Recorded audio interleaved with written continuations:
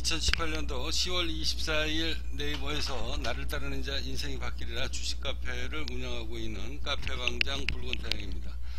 자 오늘 여러분들한테 코스피 코스닥 종합주가 하락장이 아직 끝나지 않았다 끝나지 않았다 제가 1년 내내 여러분들한테 말씀드리죠 올해는 1년 내내 하락을 할 수밖에 없는 장이다 라고 제가 미리 말씀드렸고 3일 전에도 종합주가 하락장이 자 그저께 어저께 뭐 한 2, 3일 동안에 잠시 반등권이 왔잖아요. 아주 강하게. 강하게 왔을 때 제가 여러분들한테 뭐라 그랬습니까? 종합주가 하락장 아직 끝나지 않았다. 아직도 어, 한참 걸린다. 본격적으로 반등 구간을 잡는 구간은 별도로 있다. 어, 제가 여러분들한테 입이 닳도록 말씀드리면서 개미 투자자들 중에 신용을 풀로 매수 땡긴 사람이나 아니면 주식자금 대출을 받은 사람들은 반대 매매로 지금도 뭐 어마어마한 사람들의 개미들이 전 재산을 다 탕진해 먹고 어, 지금 피눈물을 흘리고 있을 텐데 아직도 그나마 딸라당 딸라당 하는 사람들 굉장히 위험하죠. 그래서 제가 여러분들한테 입이 닳도록 말씀드렸습니다. 종합주가가 반등권이 올 때마다 리스크를 줄이셔야 됩니다. 그래야 반대 매매가 나갈 때 단돈 몇 푼이라도 건지는 거죠. 그래서 제가 닳도록 여러분들한테 어, 종합주가 하락장 절대 끝나지 않았다라고 어, 여러분들한테 닳도록 제가 말씀드리고 있는 겁니다. 자 오늘도 이렇게 뉴스를 보면은요 코스피 지수가 24일 외국인 팔자 공세에 밀려서 하루 만에 최저치를 다시 썼다. 자 코스닥 지수는 1년여 만에 700선 밑으로 떨어졌다 라고 이렇게 뉴스가 나왔습니다. 자 외국인이 매도 규모를 높여가면서 어, 코스닥 시장에서 518억 그 다음에 기관 개인은 307억 113원을 순매수했다 라고 이렇게 나왔고요. 자 이제 미국 무역 전쟁이 장기화되고 연방 준비제도의 기준금리 추가 인상 글로벌 악재가 지속되면서 외국인 매도 공세가 연일 지수를 끌어내리고 있다라고 이렇게 지금 아, 뉴스가 나오는데요. 제가 여러분들한테 일일이 말씀드립니다. 자, 이것 때문에 주가가 빠지는 게 아닙니다. 원래 하락장입니다. 제가 입이 닳도록 지금 14편에 걸쳐 가지고 제가 말씀드리죠. 자 하락했을 때 하락한 이유를 찾아서 뉴스를 쓰는 것 뿐이지 원래 하락장입니다 라고 제가 누차 입이 닳도록 말씀드렸습니다. 자 지난주에 그러니까 2주 전이죠. 2주 전에 저희 카페에서 바닥을 1차 한번 잡고 어, 계속 저희 카페에서는 상방으로 쏴서 어, 주식 전업 투자해서 저희 카페 회원님들이 매일 수익이 났습니다 자 수익이 나다가 이제 어제 어제 중대 지표를 깨고 내려갔거든요. 깨고 내려갔는데 그게 깨고 내려가는 이유가 별도로 있다. 원래 하락장이기 때문에 깨고 내려가는 겁니다. 무조건 깨고 내려 깨고 내려갈 수밖에 없다. 그래서 지금 뭐 증권맨들은 지금 할 말이 없죠. 어, 왜 할 말이 없는가 뭐 상승 추세가 온다라고 며칠 전에도 방송을 했잖아요. 뭐 하, 어, 한국 투자 아, 저기 뭐야 그 와우경제 TV 뭐뭐 뭐 머니투데이 뭐 할 것 없이 전부 다 다 이제 바닥을 찍었다. 그리고서 2200포인트를 이번 주에 올라갈 것이다. 제가 여러분들한테 뭐라고 그랬습니까? 기술적 반등 구간이 잠시 올라온다라고 해도 무조건 정리를 해야 된다. 왜? 절대 안 올라갈 수밖에 없는 이유가 있습니다. 그래서 어, 종합주가가 이렇게 지금 계속 오늘도 하락을 하고 있는데요. 자,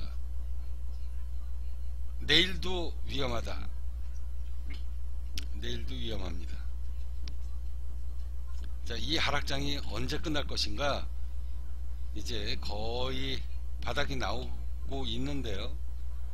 자 여러분들 어, 조심하셔야 됩니다 자 공포의 증시 커지는 개미 곡소리가 나고 있다 외국인보다 손실이 두 배다 지금 올해 들어서요 전 뭐 개미 투자자 그냥 지금 전부 다다 아, 10%죠. 뭐 마이너스 30%에서 뭐 많게는 50%까지 전부 다다 아, 손실 중입니다. 그래도 현금으로 매수한 사람들은 그나마 견디고 있는데 그렇지 않은 사람들은 그냥 전부 다 반대, 반대 매매로 다 날라갔죠. 자, 개인의 손실폭을 더욱더 키운 것은 바이오주하고 중국 소비주였었다라고 이야기했습니다. 삼성전자, 삼성전기 이거 절대 올라가지 않는다라고 제가 말씀드렸죠. 삼성전자 절대 매수하면 안 된다. 이걸 왜 매수를 하고 앉았습니까? 삼성전자를 삼성전자 액면 분할하고 난 다음에 삼성전자를 저희 카페에서는 절대 사지 마라. 이거는 땡땡땡원까지 무조건 하락이다. 라고 얘기해서 저희 카페 회원님들은 단 한 명도 단 한 주를 사지 않았습니다. 삼성전자 살 이유가 없는 겁니다. 왜? 하락장인데 그걸 왜 삽니까? 자, 여러분들, 어, 주식이라고 하는 것은요, 하락장에는 절대 매수해서 큰 수익을 낼 수가 없습니다. 작전주가 아닌 다음에. 자, 그러면 하락장의 끝이 언제인가? 이제 조만간에 곧 나오게 됩니다. 어, 그래도 어, 곧 바닥이 다시 한번 나온다라고 해도 강한 반등으로 이어지기는 어렵다. 왜 그런가? 뭐 그 이유는 제가 여기서 말씀드릴 수는 없고요. 아무튼 아무튼 기술적 반등 구간이 올라올 때마다 신용 매수 하신 분들은 위기 관리를 하셔야 됩니다. 절대 급등이 오거나 그런 거 기대하지 마십시오. 올라올 때마다 여러분들은 끊으셔야 됩니다. 물론 뭐 어, 좋은 종목을 저평가되어 있고 좋은 종목을 신용 매수 그 다음에 주식자금 대출 이렇게 받지 않으신 분들은 홀딩 하셔도 되지만 아무리 좋은 종목이다라고 해도 신용으로 매수 땡긴 사람들은 아직까지도 견디기 힘듭니다. 조심하셔야 됩니다. 자, 올라올 때마다 물량을 줄이시면서 어, 반대 매매가 나갈 확률이 있는 분들은 재산을 조금이라도 더 챙기는 쪽으로 전략을 짜는 게 좋습니다. 아직까지 하락장 끝나지 않았고요. 회복하려고 그러면 한참 걸리는데 한참 걸리더라도 잠시 하락장이 또 올 때마다 개별 종목은 계속 더 어, 손실을 키우면서 어, 위험해진다. 꼭 조심하십시오. 자 이번에 이제 코스피 어, 금융위기 오면 최후의 지지선은 1800이다. 참나 뭐 미치겠네. 금융위기가 오면 최후의 지지선은 1800이다? 금융위기가 지금 왜 옵니까? 이런 사람들이 이게 문제예요 이게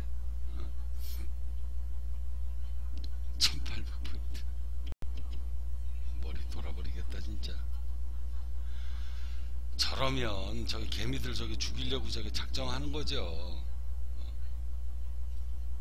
어떻게 저렇게 무책임한 이야기를 합니까? 자 2100선 뚫린 코스피 추가 하락 가능성 해가지고 CLSA는 글로벌 신용 경색으로 금융위기가 도래할 경우 코스피가 1800까지 밀릴 수 있다라는 전망을 내놨다 금융위기. 하하 참나. 뭐. 저렇게 무책임한 아 그랬으면 안됩니다. 저것도 증권사라고. 참 심각하다 심각해. 이런 이런 무책임한 일을 2008년 금융위기 때를 제외하면 아이고 이런 거 여러분들 믿지 마십시오. 자 종합주가 하락장 아직 끝나지 않았습니다. 내일장에도 하방 압력이 더 올 확률이 높고요.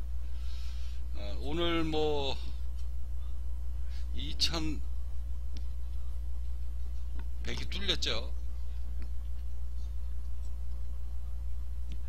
내일장에도 더 하방 압박이 오면서 2050포인트를 깨느냐 안 깨느냐 어, 아주 중대 고비 구간이다라는 거 여러분들 꼭 기억하시고요.